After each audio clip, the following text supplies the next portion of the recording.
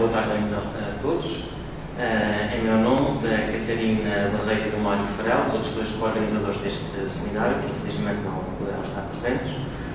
Hoje iremos ter connosco o professor uh, Hilário Franco, que irá apresentar a comunicação O Parque Descuidado pela Medievalística, Utopia e Heresia, a quem agradecemos a possibilidade e o facto de ter aceito o nosso convite para estar presente.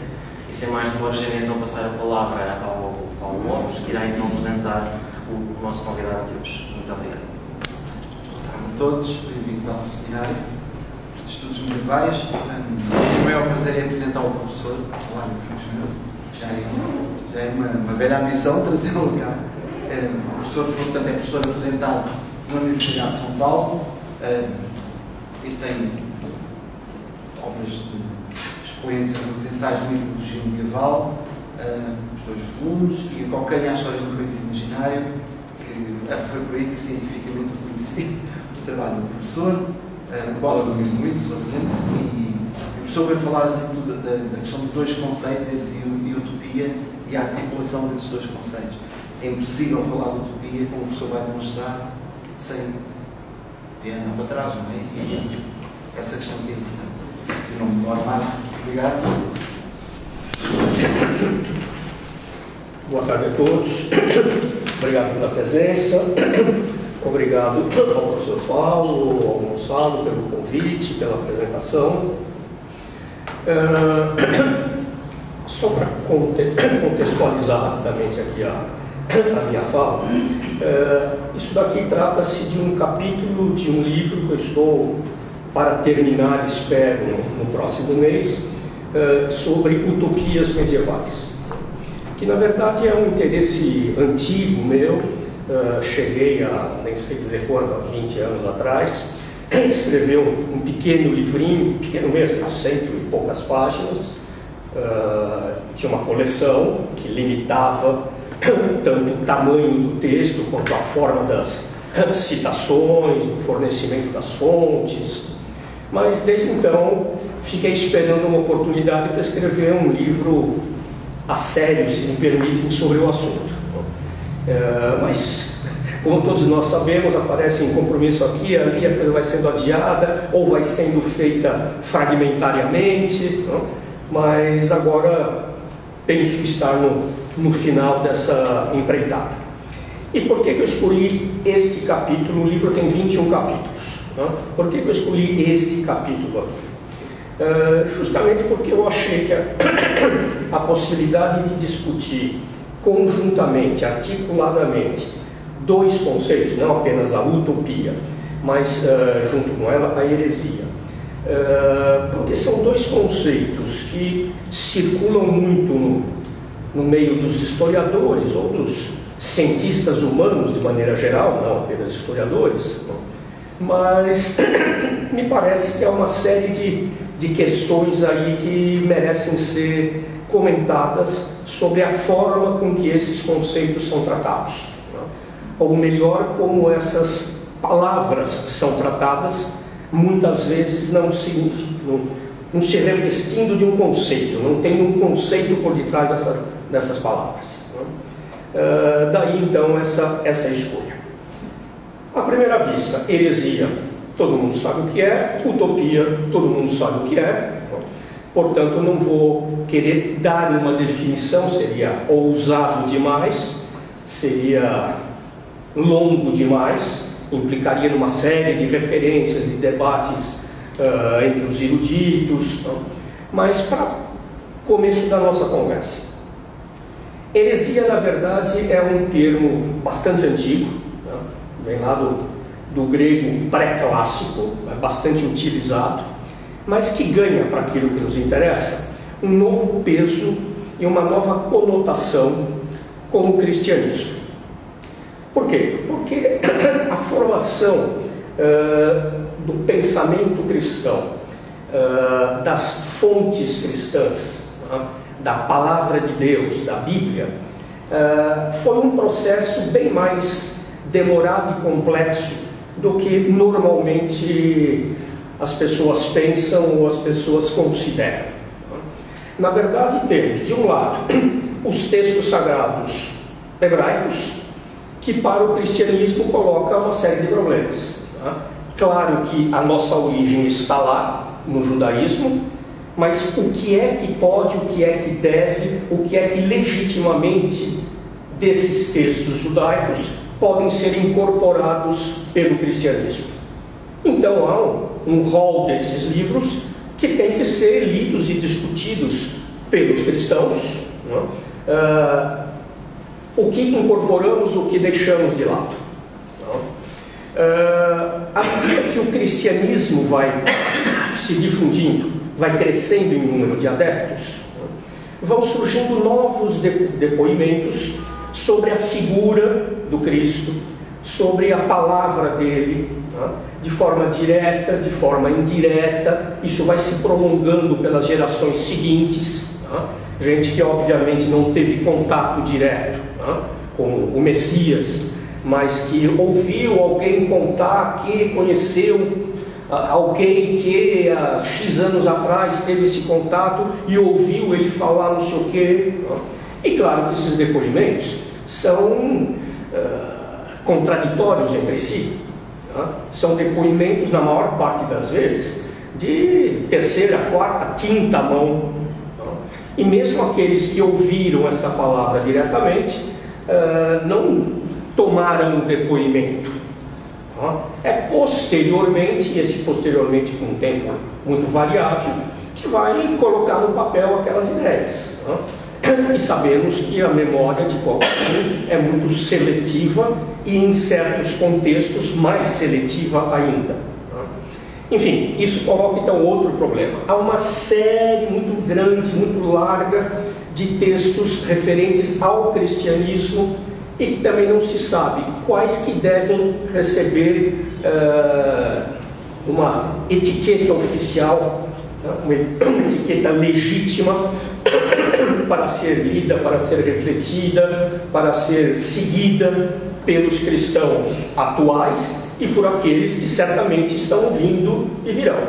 Uh, enfim, tratava-se de fazer, e aí chega a palavra que nos interessa, uma escolha uma escolha entre aquela lista de textos judaicos e uma escolha entre aquela lista enorme de textos cristãos.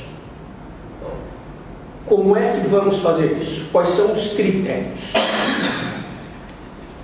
Uh, os principais representantes da nova religião, isto é, os mais antigos, um de maior carisma, um de maior formação intelectual, uh, um que por razões variadas, tinha uma representatividade maior diante da comunidade. Tá? Esse conjunto de pessoas reúne-se e começa a debater. Esse texto sim, por tal e tal razão, não, não concordo por causa disso, daquilo. Tá?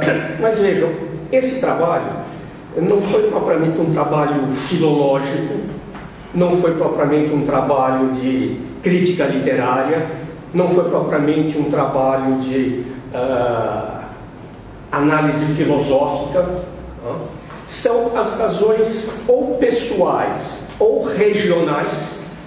Uh, claro, o cristianismo, quando sai daquele seu centro original ah, da Judéia, passa para outros lugares que às vezes têm um peso intelectual, uma tradição filosófica muito maior uh, isso tem um peso. Então, o representante daquela região pode acabar por impor o seu ponto de vista, mais até do que aqueles que estavam no, no centro original da nova religião. Tá? Enfim, os critérios são variadíssimos, discutidíssimos pela erudição até hoje. Uh, não vem ao caso, não os conheço suficientemente para falar a respeito. Uh, mas foi feita uma escolha. Uma escolha que se encerra no final do século IV. Então, veja, temos aí um processo de 350 anos, qualquer coisa assim, não? de organização do que é a Bíblia cristã. Processo que, obviamente, todo mundo sabe, vai continuar a sofrer vários percalços, intervenções e discussões posteriores, mas essa é uma, outra questão.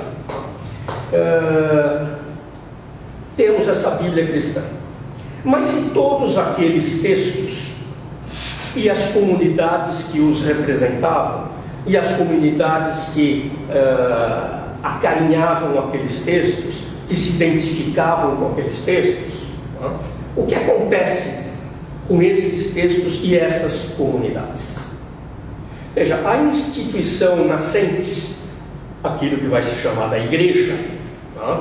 aquela que selecionou os textos da Bíblia cristã, né? Dirá: estes, argumento de autoridade, estes são os textos, esta é a Bíblia cristã.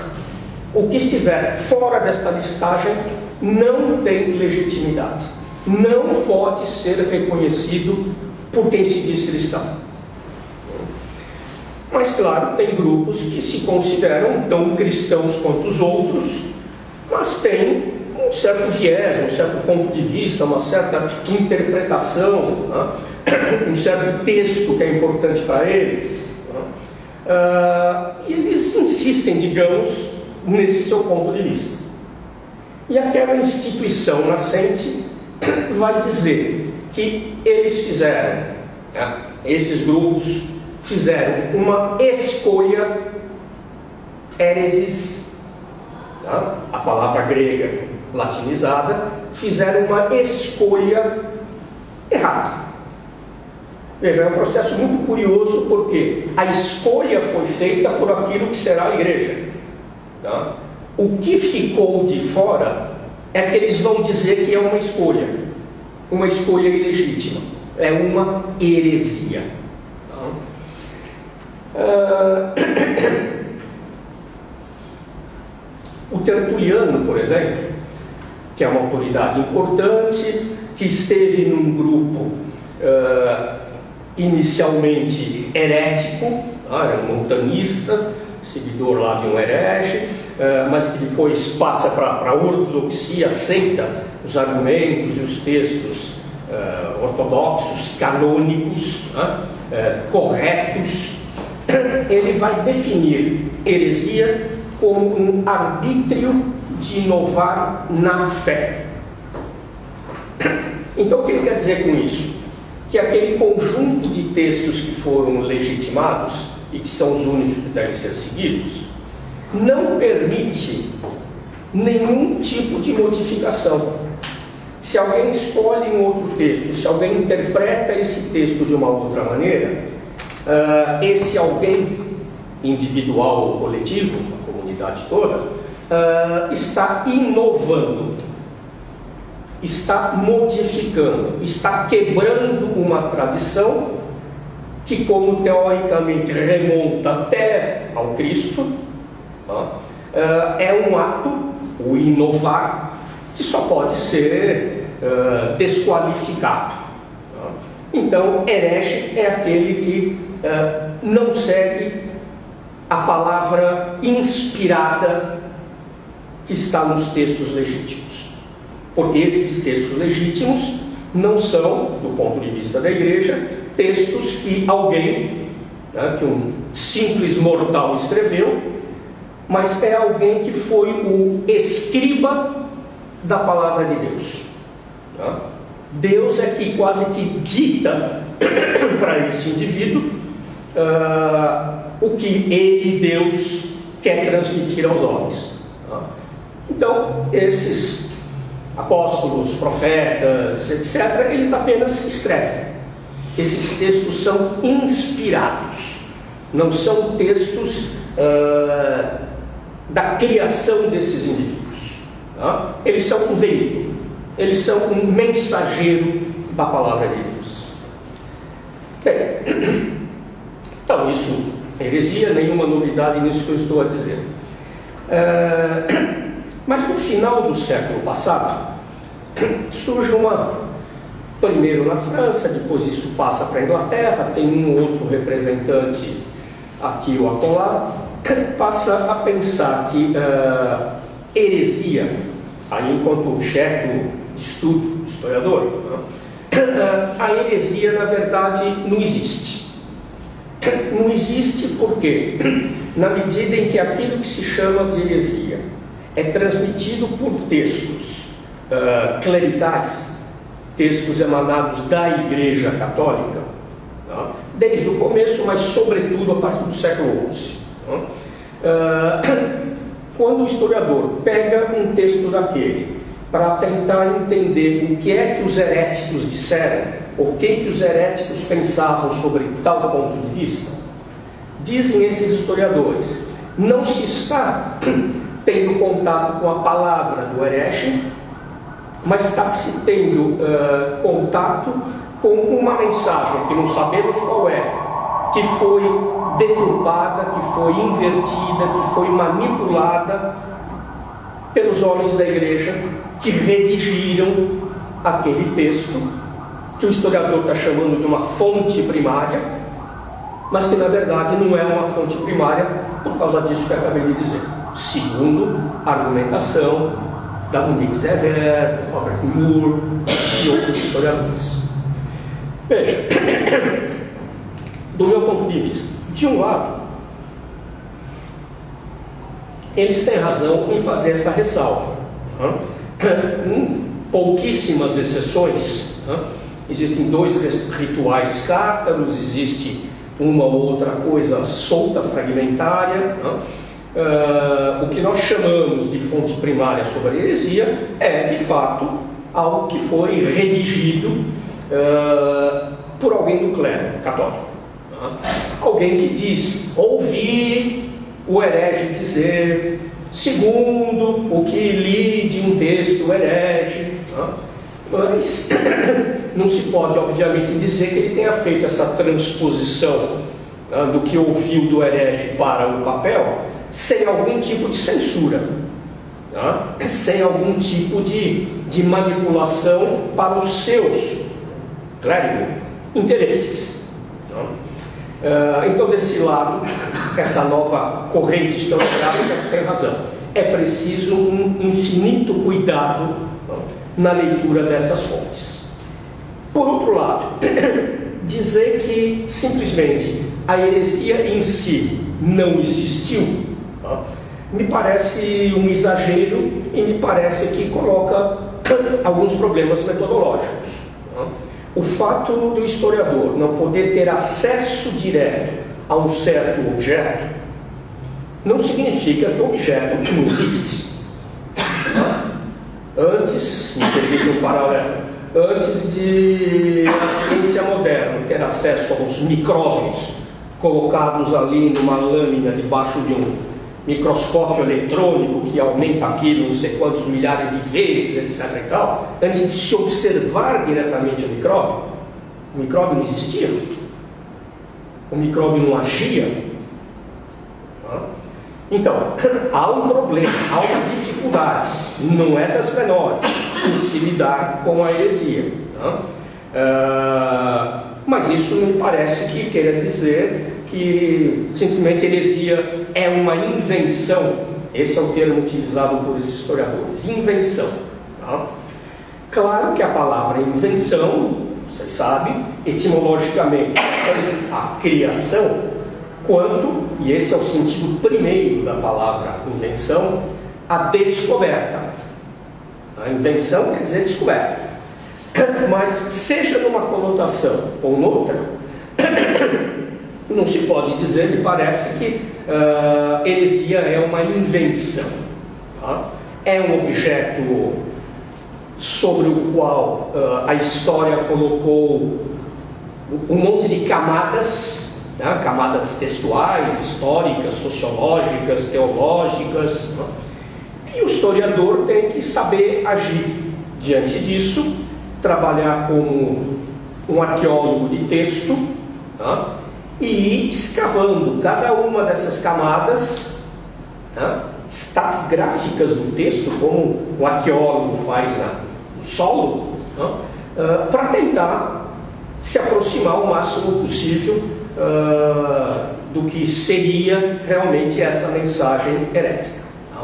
Bom, então, isso é um lado da nossa equação.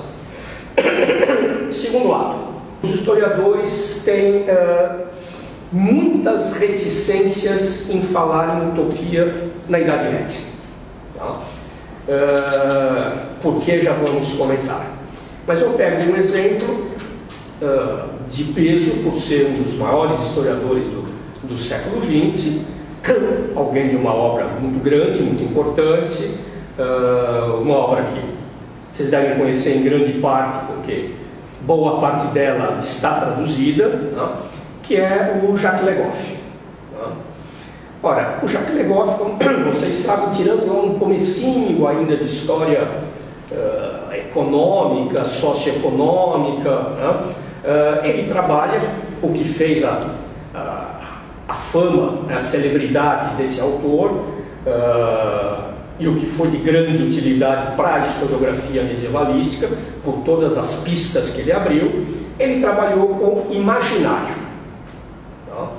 Ora, esse extraordinário historiador que trabalhou com o imaginário vai falar pela primeira vez em Utopia em 1989. Um artigo uh, muito interessante que me inspirou uh, a escrever o livro sobre a cocanha a qual o professor Paulo se referia, porque este artigo do Legoff é sobre a cocanha, o país de cocanha. E lá ele diz que a cocanha é a única utopia medieval.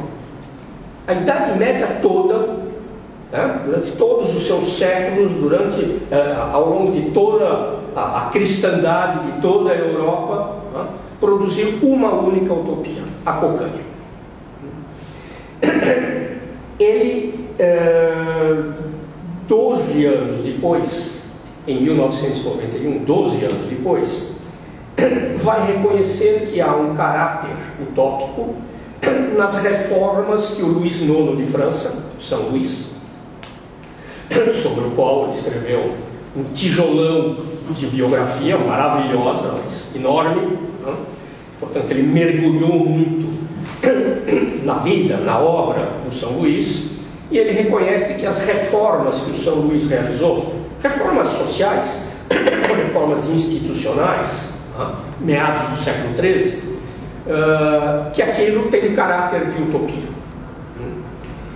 E que a comuna, quer dizer, a cidade livre de Bolonha, na Itália, na mesma época, meados do século XIII, também faz uma reforma muito importante, uh, através da qual a Comuna de Bolonha libera os servos, deixa de existir servidão em Bolonha, Bolonha não só o centro urbano, mas o, o contato, a zona rural, que é onde tinha mais servos. Enfim, toda a área governada pela cidade de Bolonha não há mais servos. Todos são homens livres. E o negócio diz: isso é um, um elemento utópico. Isso é uma manifestação utópica. Mas só existe isso, né? Cocanha, reforma do São Luís, reforma de Bolonha. Em 2003, e aí passaram-se mais 12 anos, outros 12 anos, ele vai dizer que existe uh, a utopia de Joaquim de Fiore. Com a sua ideia da história, com três grandes eras, três grandes etapas, uh, isso implicando numa certa leitura do milenarismo. Uh, isto é também uma utopia. E por fim, em 2005, o Legoff reconhece que a tábula redonda é uma utopia. É uma, é uma utopia, não a tábua, o objeto, evidentemente, né? mas o que ela simboliza, o que ela significa, os homens que se sentam em torno dela. Né? Ela é redonda, ela tem uma conotação de igualitarismo. Né? É, o programa, entre aspas, dos cavaleiros ali do Arthur, né? do rei Arthur, uh, é de fraternidade, é de respeito pelo, pelo semelhante. Né? Então, tudo isso Legoff diz é uma utopia. Portanto, no final, ele tem uma, duas, três, quatro, cinco coisas que ele uh, rotula de utopia. Em, arredondando, 25 anos de trabalho sobre uh, o imaginário medieval, ele reconhece cinco utopias. Tá? E, como acabei de, dizer, meio a conta-gotas. Tá?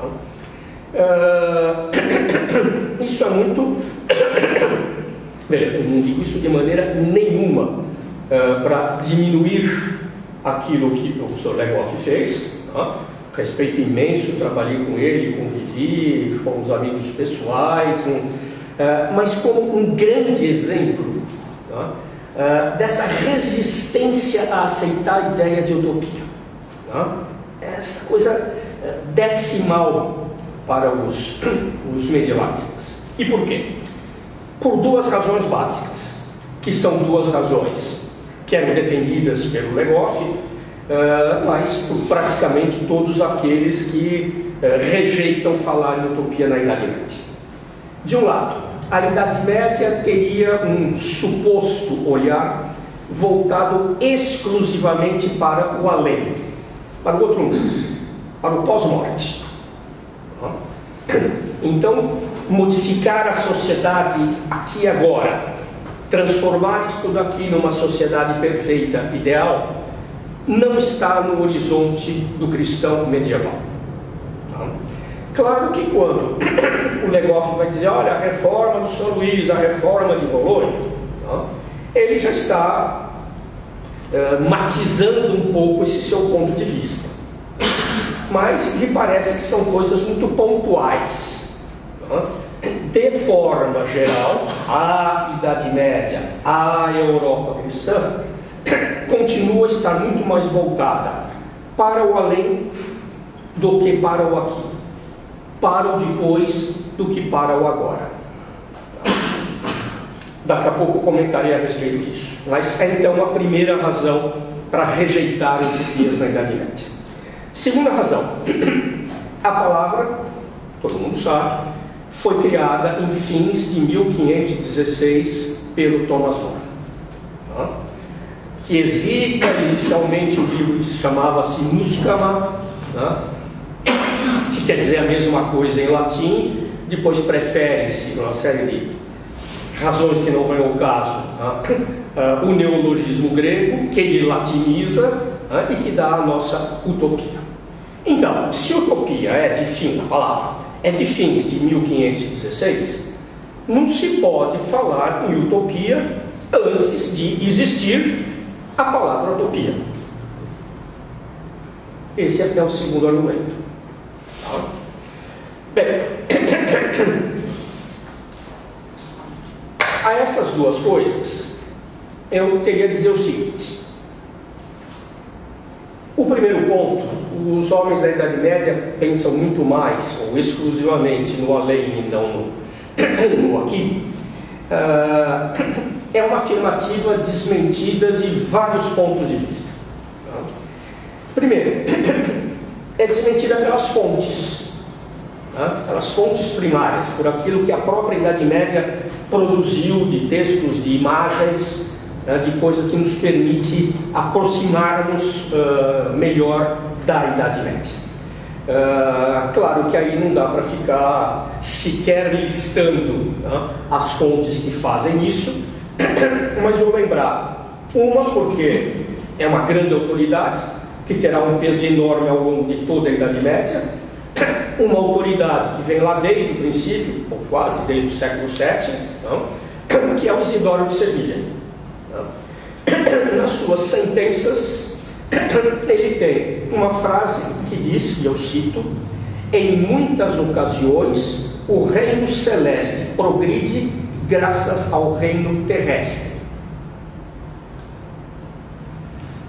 Nós aqui, nesta vida e nesta terra, temos uma palavra a dizer, sim, senhor a cidade dos homens, a cidade de Deus do Agostinho, uh, não é tão não é tão marcada essa fronteira. Não há uma, uma oposição total quanto a elas. Não há um maniqueísmo entre essas duas coisas. Pelo contrário, Agostinho havia reconhecido que se a cidade dos homens é, por definição, imperfeita, a sua tarefa é tentar ser o menos imperfeita possível para facilitar a futura passagem para a cidade de Deus. Veja, tudo isso para dizer o seguinte: há uma preocupação com o que se faz nesta vida, claro, pensando o horizonte está lá, mas não quer dizer que se está aqui apenas matando o tempo, como nós diríamos hoje, esperando passar para o além. Tá? Estamos aqui, temos que vivê-lo da melhor maneira possível, temos regras para isso, tá? regras ditadas pelo cristianismo, regras sociais, regras morais, tá?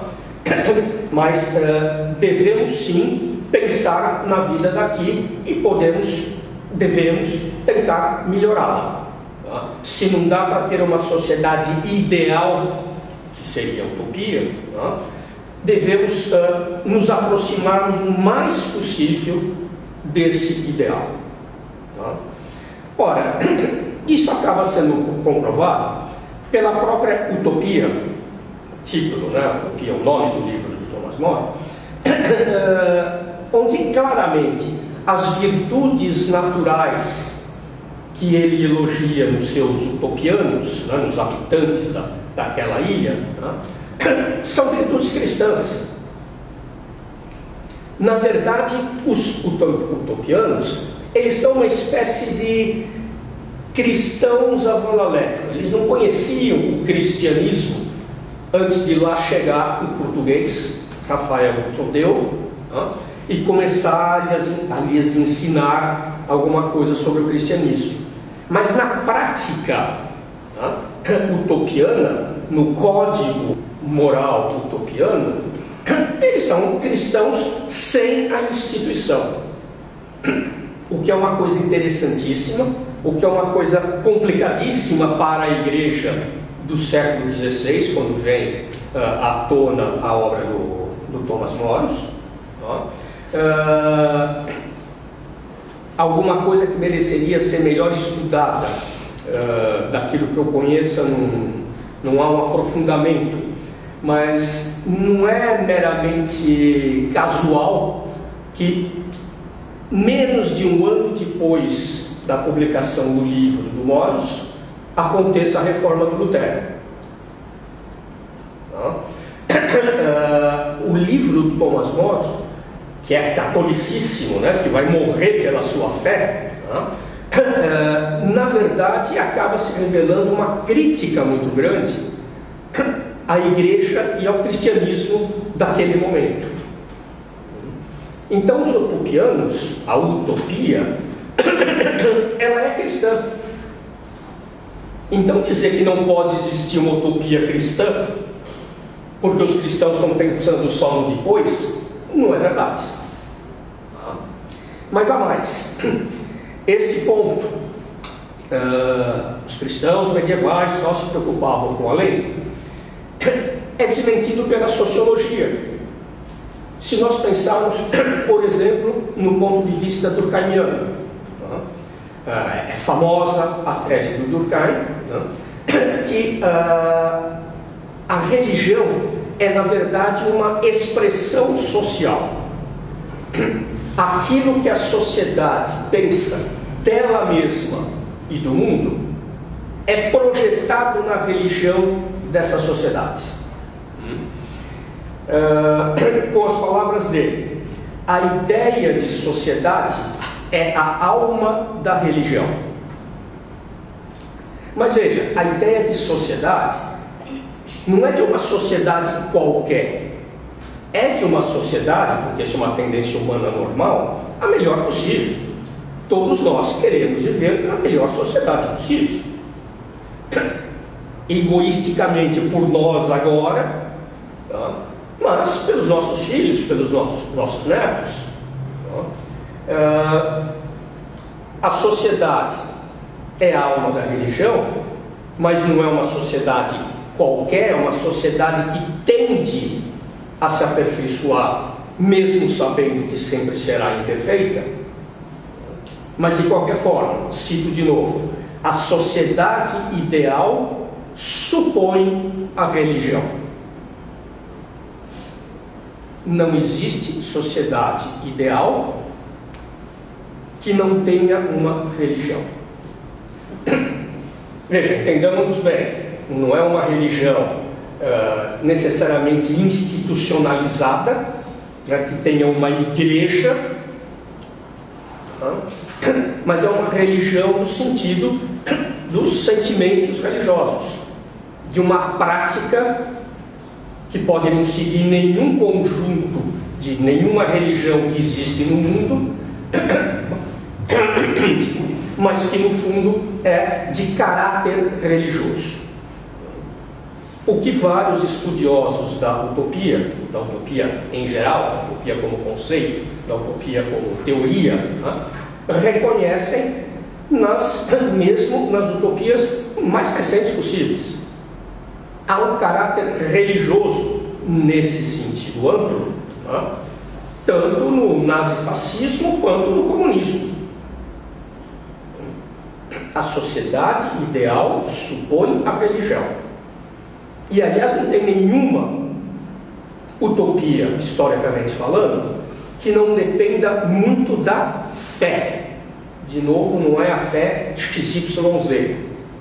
É a fé, é a crença no poder transformador de alguma coisa. E utopia é isso. Mesmo contra as aparências, as evidências, aquilo que uh, psicologia social de hoje chamaria o pensamento comprometido, ou seja, as pessoas têm isso comprovado, né? isso há eh, experiências dos psicólogos né? em vários países com dezenas de milhares de pessoas. Né? As pessoas têm convicções e agem pelas convicções e não por aquilo que sejam as razões que lhes são oferecidas, nem a favor e nem contra as suas convicções. E com isso você já cons consegue reconhecer muito do nosso mundo político atual, por exemplo. Tá? Não se convence ninguém de nada. As pessoas já estão convencidas. E contra as próprias evidências, tá? Ela continua com as suas convicções. Ontem, no jornal da RTP, passaram uma matéria horrorosa, morria de vergonha, falando das eleições do Brasil. Uh, e morria de vergonha porque eu me sinto com pouquíssimos laços há muito tempo com o Brasil. Mas enfim, estavam lá dentro de um, de um templo evangélico entrevistaram algumas pessoas, né? e, e, uma delas, uma senhora mulata, mestiça, né? dizendo, não, Bolsonaro, ótimo, maravilhoso, né?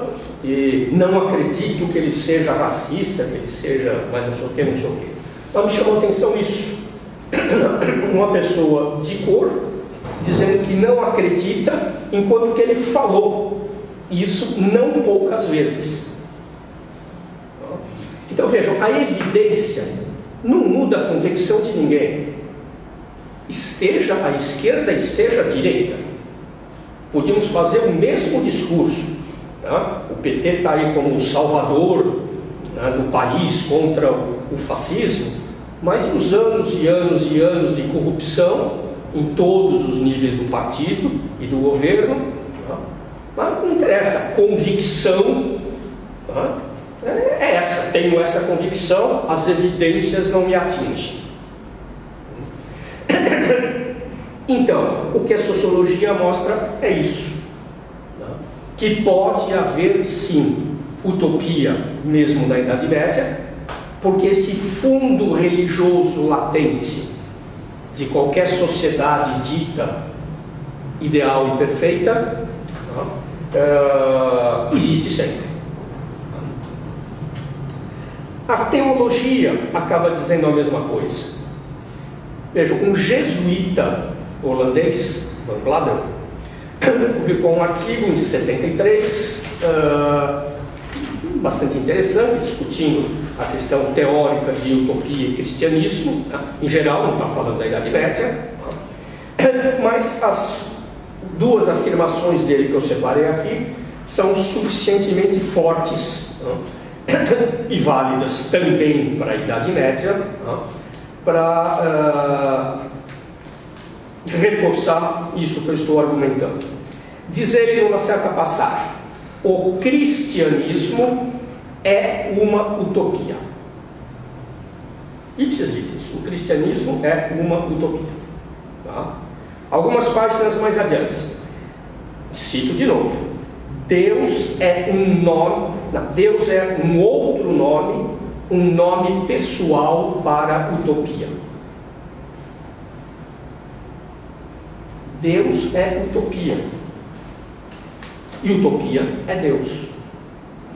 Contra aquele primeiro ponto, me parece que podemos desmenti-lo pelas fontes medievais, pela sociologia e pela teologia. E quanto ao segundo ponto, a palavra só foi criada em 1516, não pode ser aplicada anteriormente.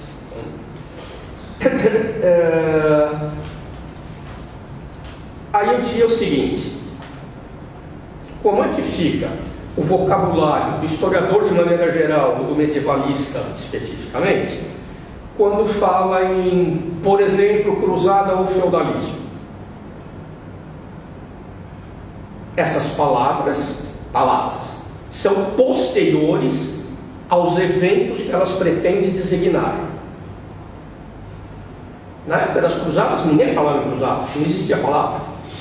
Feudalismo é a mesma coisa mas nós não hesitamos em falar cruzadas, isso, feudalismo, aquilo.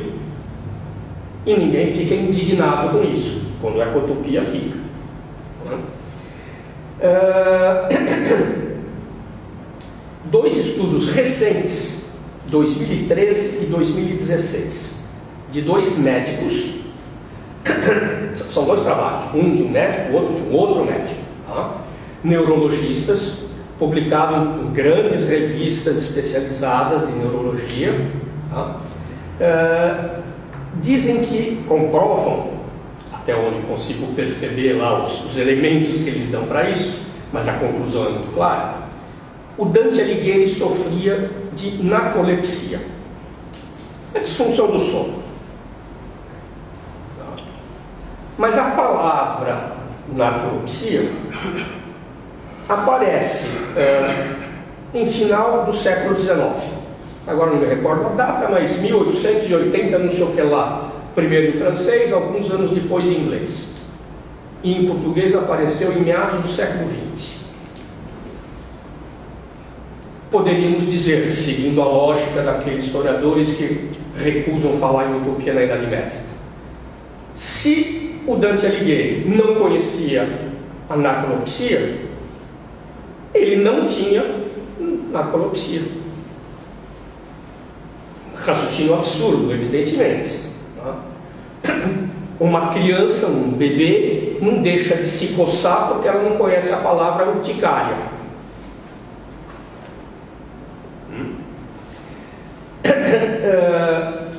Nostalgia fala-se, escreve-se, fazem-se estudos que, que usam a palavra nostalgia para todos os períodos.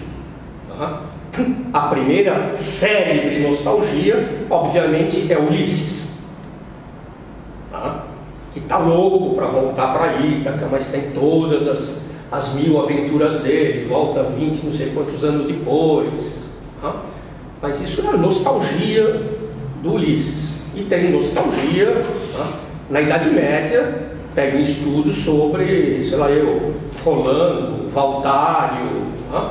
todos eles sentem nostalgia de estar em algum momento afastados da, das suas terras, das suas casas. Tá? Nostalgia é um termo técnico criado por um médico alsaciano em 1688. Ele faz uma tese em Basileia, na Suíça. Ele percebe que é um fenômeno muito interessante que os mercenários suíços, os famosos mercenários suíços, quando ficam muito tempo fora da Suíça, eles ficam doentes. Essa doença tem todo um, um descritivo, né? tem todos os seus sintomas clássicos comprovados, milhares de indivíduos. Ele escreve uma tese sobre isso tá? E diagnostica que aquela doença é, ele cria, inventa a palavra, né?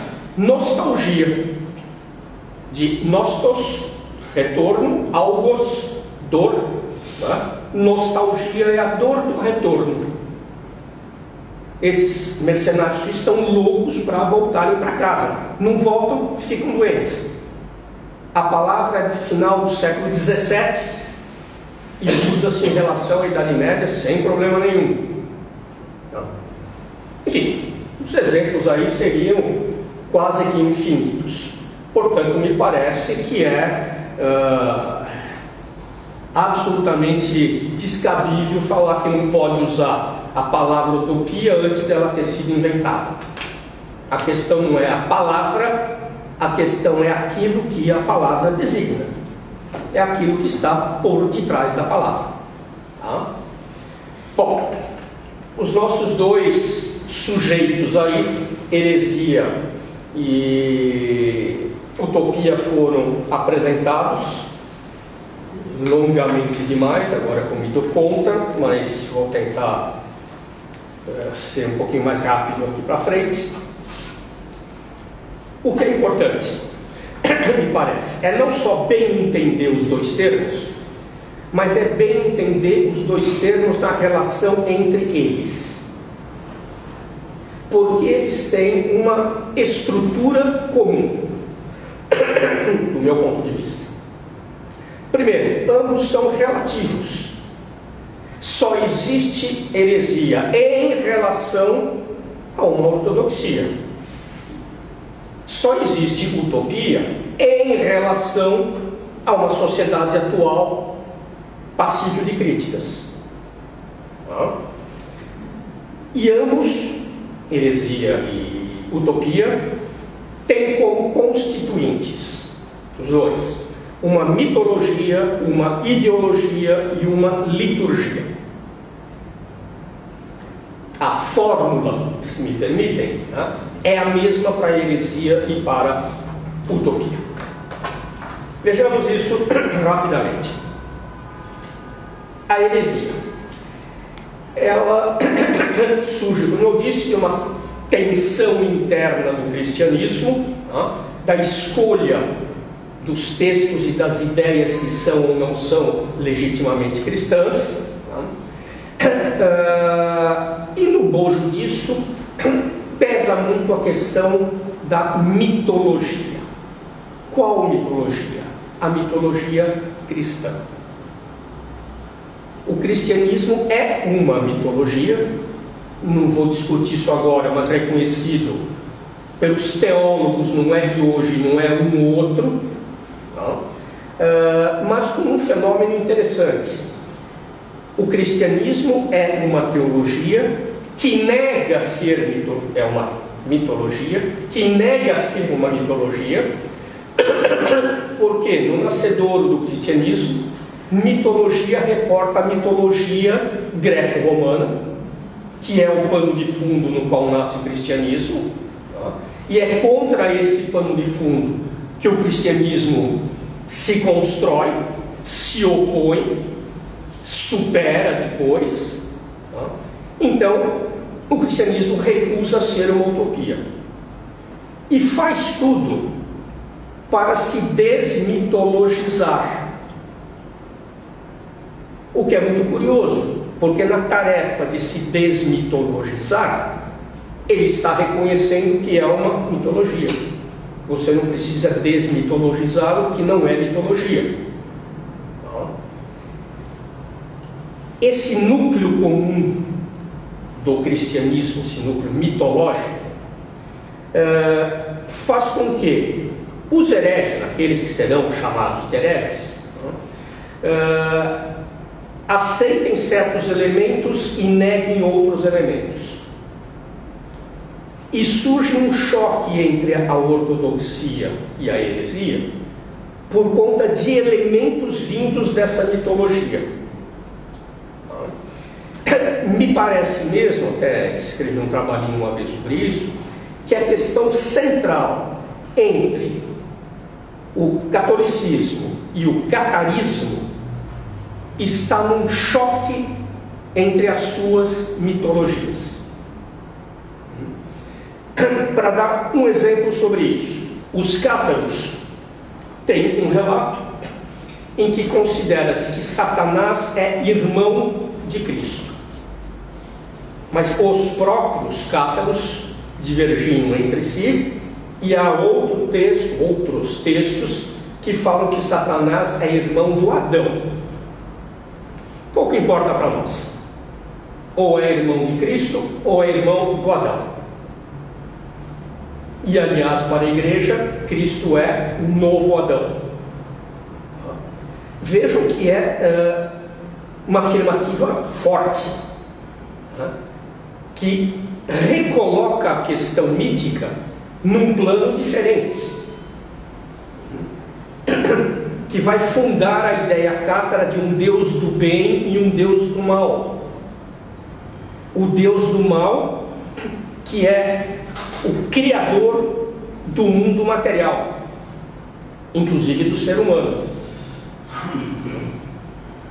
O que é contrária à mitologia cristã da criação. E todas as outras seitas terão alguns pontos em que discutem essa uh, mitologia cristã negando a uma série de seitas que negam o pecado original, que rejeitam pensar que o pecado de duas pessoas pode ter virado para sempre o pecado de todo mundo. Uh, a encarnação, a trindade, os santos, há uma série de elementos desse tipo que várias e várias seitas heréticas vão uh, negar. Mas a heresia, além da questão uh, mitológica que está ali presente e se diferencia da, da cristã, tem uma ideologia importante, marcada, por quê? Porque a mitologia, qualquer mitologia, ela trabalha com sentimentos e não com conceitos. Tá? Mesmo se ela vai alegorizar algum conceito, ela trabalha basicamente com os sentimentos. Tá? Mas os sentimentos não conseguem dar conta de uma forma minimamente é, organizada, socialmente viável, de uma cultura, de uma sociedade. Há necessidade de se organizar esse conjunto mítico, esse conjunto de sentimentos, ainda que seja uma organização pré-reflexiva. Pré-reflexiva é a expressão que o Althusser vai utilizar na sua definição de ideologia. Então, na construção dessa visão da sociedade, que é a ideologia, nesse filtro da sociedade que é a ideologia, uh,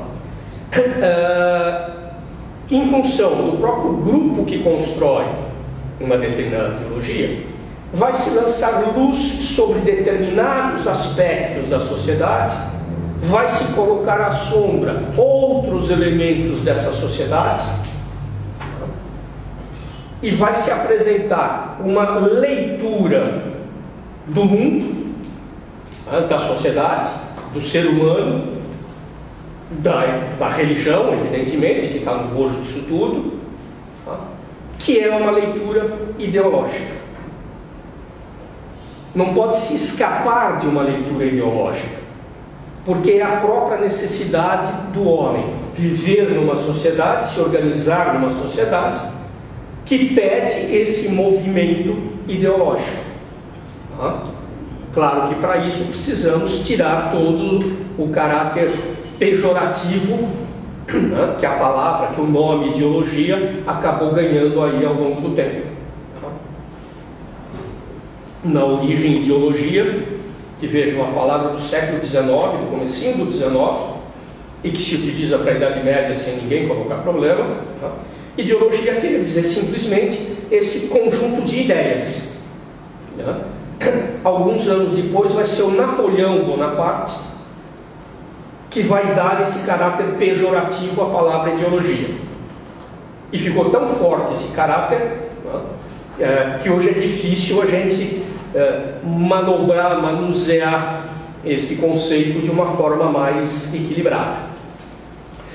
Mas, de qualquer forma, uh, existe, não pode se passar dele e está presente na própria heresia. A leitura que a heresia faz do cristianismo é também uma leitura, não é só mitológica, é também ideológica.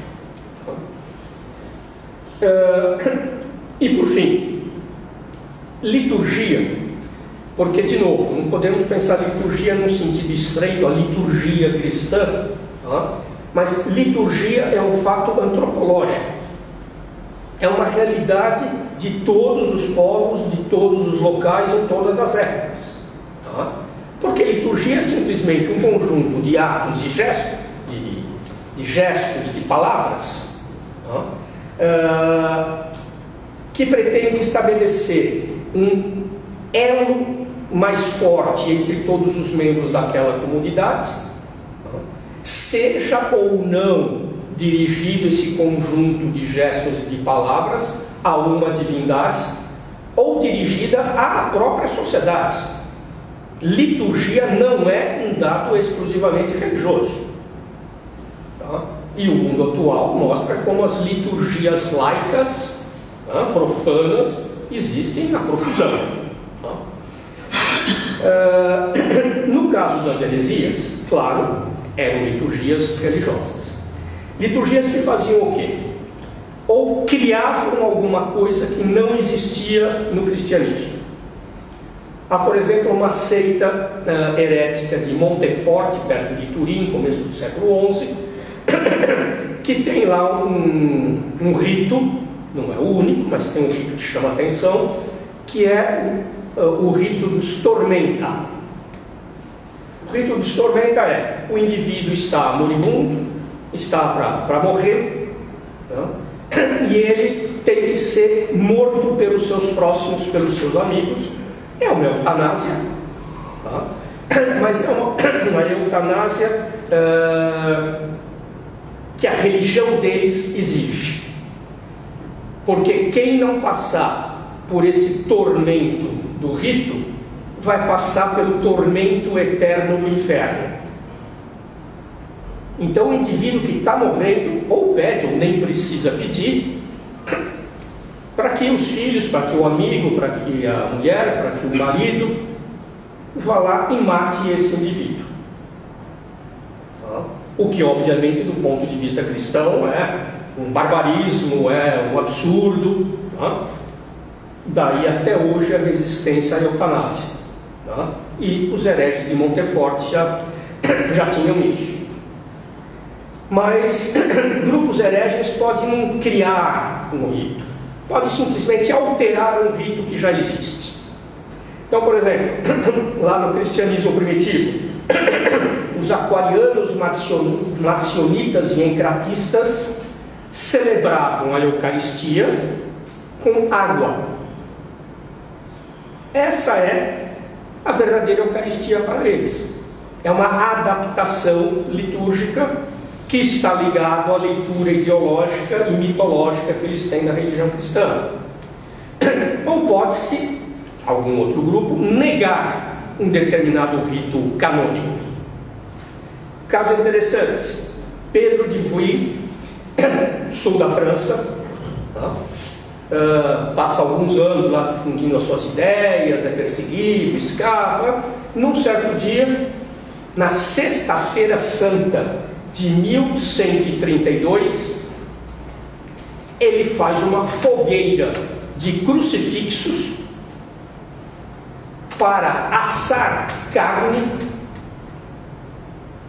e em seguida ele come essa carne. Sexta-feira Santa. Você veja quantas coisas ó, ele deturpa do ponto de vista católico num único gesto, num único ato. Porque me parece que toda a liturgia em torno da Eucaristia, em torno do culto de imagem, etc. e tal, são coisas absolutamente sem sentido. E ele quer mostrar como isso é sem sentido. Ele quer destruir essas crenças. Tá? É uma não liturgia herética, mas que mostra como a liturgia tem culturalmente um peso grande. Tá? Isso em relação à heresia. Mas onde vemos mitologia, ideologia e liturgia na utopia? A presença mítica nas utopias é mais do que óbvia, não precisa nem insistir muito. Né? Uh, na Idade Média, algumas vão adotar e adaptar mitos greco-romanos. Por exemplo, as famosas Ilhas Afortunadas. Uh, ou elementos célticos, o reino do Graal. Uh, ou orientais, a terra dos Brahmanes.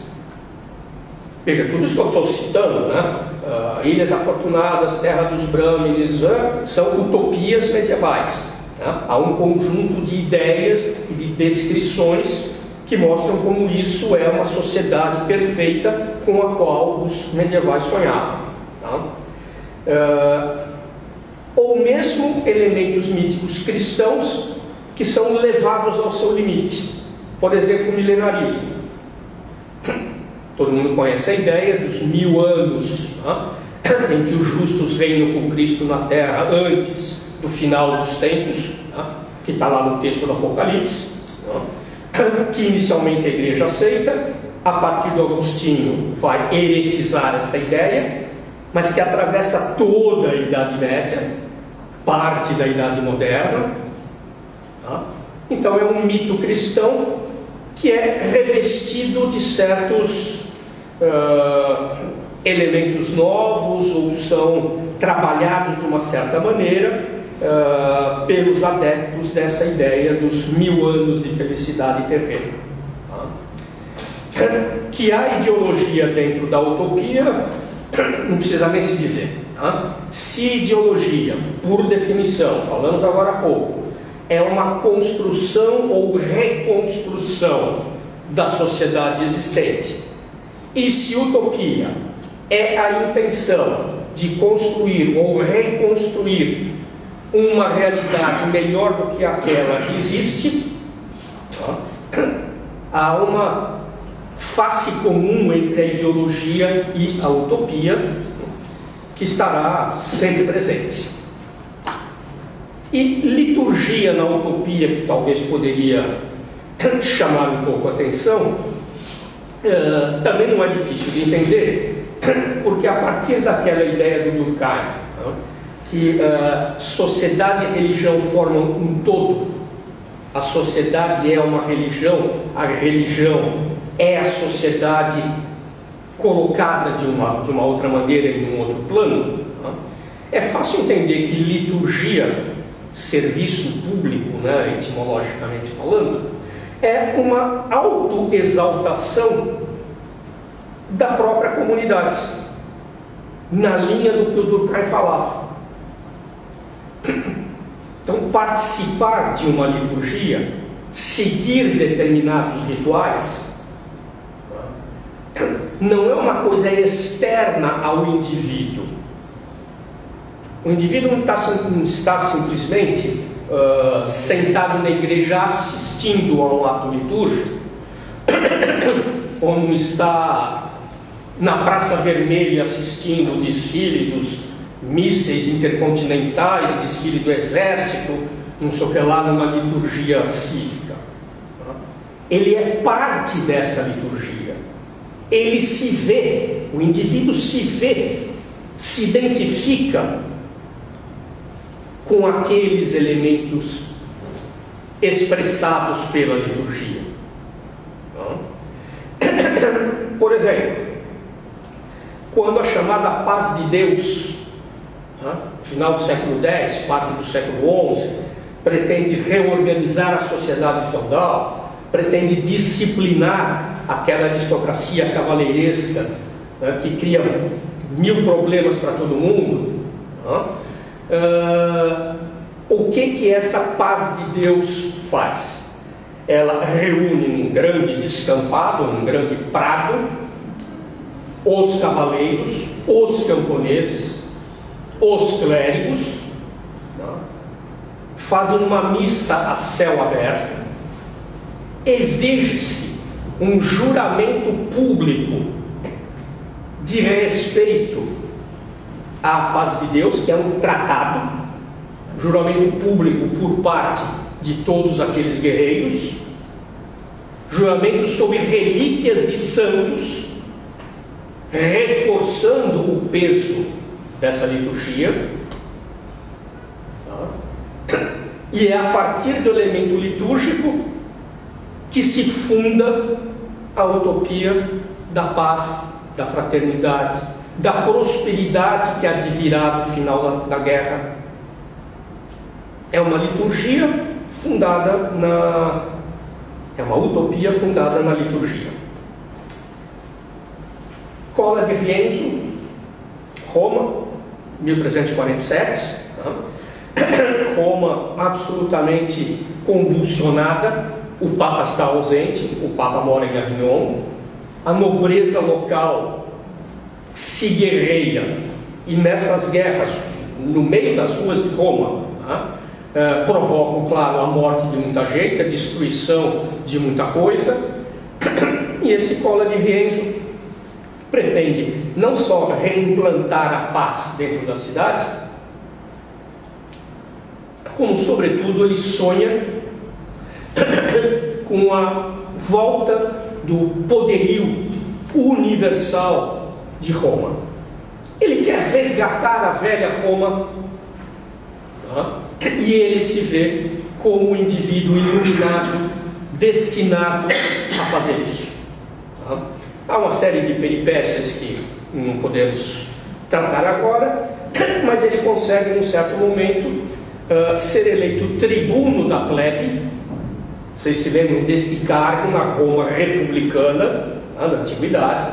Tribuno da plebe aquele representante da plebe que vai defender a, a plebe, que tem poder, tinha poder de veto então, nas assembleias públicas legislativas da Roma Antiga, se há uma proposição de uma lei que o tribuno entendia prejudicial à plebe, ele diz veto, nada mais. Pronto, morreu a lei ali. Então, essa figura do tribuno era emblemática da Roma republicana. Mas o, o Cola de Rienzo não deixa de admirar uh, a Roma imperial a Roma que se expande territorialmente e que consolida o poder que tinha começado na Roma republicana. Então, o que, é que faz o Collor lá em 1347, em agosto de 1347? Uma, uma cerimônia no Campidoglio, tá? no, centro da memória romana, em que ele é coroado com cinco coroas de cinco materiais diferentes, ele é coroado tribuno. Veja, há uma contradição evidente para o historiador em alguém ser coroado tribuno. Mas ele está querendo convergir a Roma republicana com a Roma uh, imperial. E ele diz textualmente que quer transformar Roma novamente na caput mundi na cabeça do mundo, na líder do mundo. E essa Roma será poderosa, próspera, tá? e vem toda aquela lista de qualidades que a Roma antiga teria tido e que ele pretendia implantar. E por que, que eu falo teria tido? Porque, evidentemente, o que o Collor de está fazendo é uma leitura mítico-ideológica em que ele lida com liberdades, digamos assim, com os dados históricos, tá? mas pensando desta forma criar uma utopia romana medieval. E para isso, uma liturgia é essencial, que é o que ele faz. Tá? Bom, de novo, os exemplos seriam muitos. Se tanto utopia quanto heresia têm uma estrutura comum, têm os mesmos componentes que valem para ambas, tá?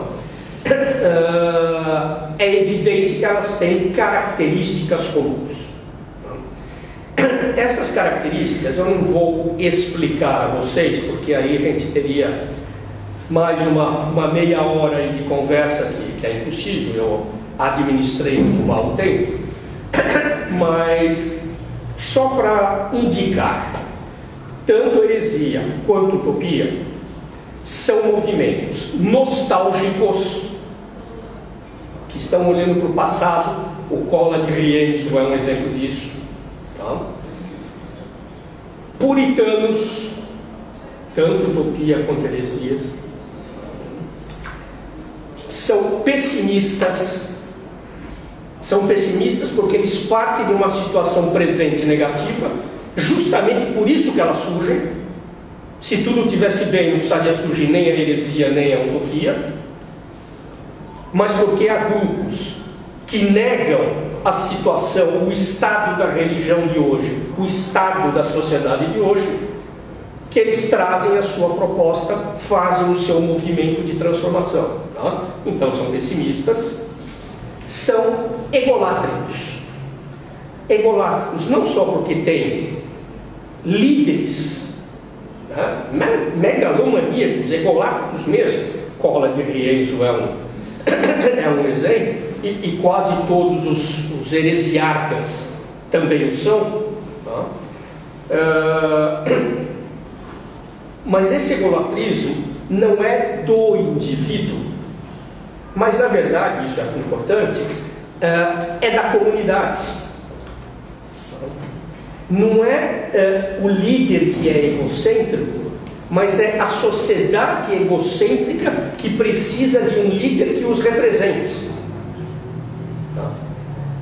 O que ajuda a explicar determinadas coisas, mesmo da história contemporânea, que muitas vezes podem nos parecer estranhas. Tá? Uh, mas é, há este jogo entre o líder e a comunidade e a sociedade que ele representa. E o mesmo acontece com os líderes utópicos, com os líderes uh, heréticos. E por fim, o que é o, o mais do que óbvio, ambos são reformistas. A heresia quer reformar, a religião, mas por extensão, a sociedade, porque não existe sociedade sem religião. Tá? A utopia quer reformar a sociedade, mas por extensão acaba por reformar também a religião. Tá? Para encerrar, disso tudo, creio que podemos concluir que toda utopia é herética e toda heresia é utópica. Muito obrigado, desculpe essa correria final.